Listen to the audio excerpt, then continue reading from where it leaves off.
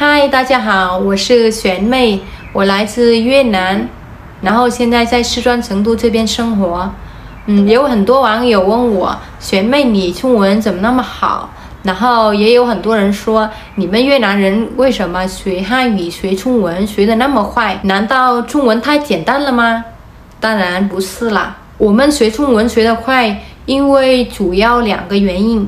第一个原因呢，那是因为越南语里面有很多汉乐词，汉乐词起源于汉语，它的读音呢跟汉语是有点相似的，比如是广告、广告、落后、落后、家庭、家庭。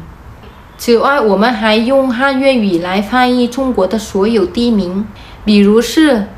北京、京、上海、上海、广州、广州、万里长城、万里长城等等，还有很多。所以呢，就是我们不知道那个地方中文名叫什么，只要我们知道它的越南语。我们还可以猜出来它的中文名叫什么的。然后第二个原因呢，那是因为中国的简单句子的语法，其实呢跟越南简单句子的语法是差不多的。举个例子，你在做什么？Bạn đang làm gì？我在吃饭。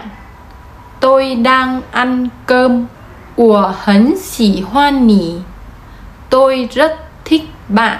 你们看，顺序是完全一样的，所以现在你们知道为什么越南人学汉语和中文会学那么快了吗？